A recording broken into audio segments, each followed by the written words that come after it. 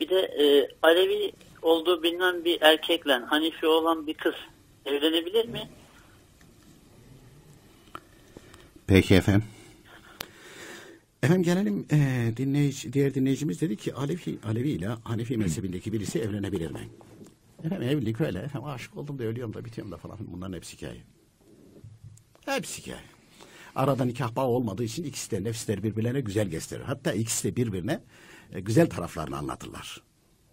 Güzel taraflar. Evlendikleri an fikirleri, inançları çarpışmaya başlar. Hele çocuklar olduğu zaman. Aha, ondan sonra kanlı bıçaklı olur. Kanlı bıçaklı olur. Dolayısıyla, dolayısıyla böyle, bir evlilik aynı şekilde yürümez. Ha ikisinden birisi teslim olur. Ha, Alevi mezhebindeki ki ben şey yaptım. Hani itikadımdan vazgeçtim.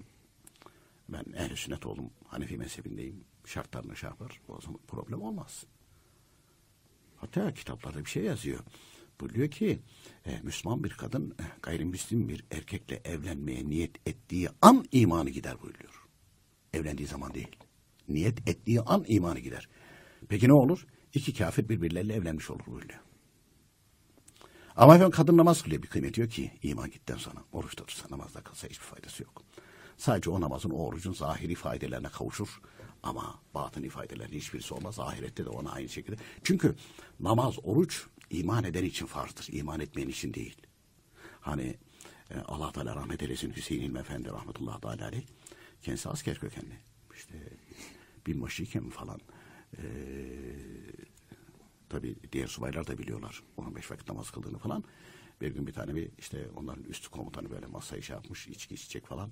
Aa demiş Hüseyin Bey'e söylerim Hüseyin Bey'e soralım demiş ya.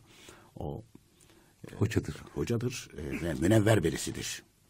Demiş benim bu içki içmem bu içki haram mıdır? Efendim size haram değil demiş. Tabii demiş ya Aydın adam böyle niyetli demiş. soruyor zaten. Art niyetli soruyor. Tabii.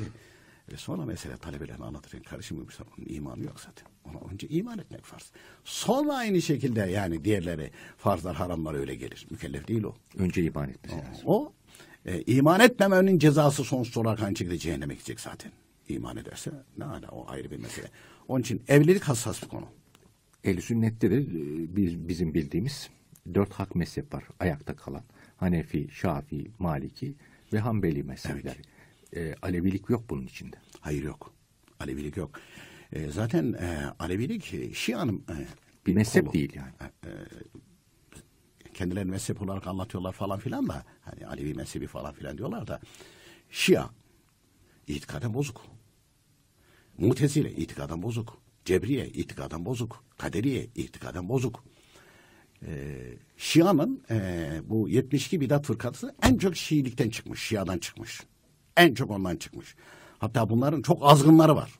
Rafizi deniyor azgınlarına. Hele onlardan da daha ileri giden Hazreti Ali'ye ilah gözüyle bakanlar var, tanrı diyenler var.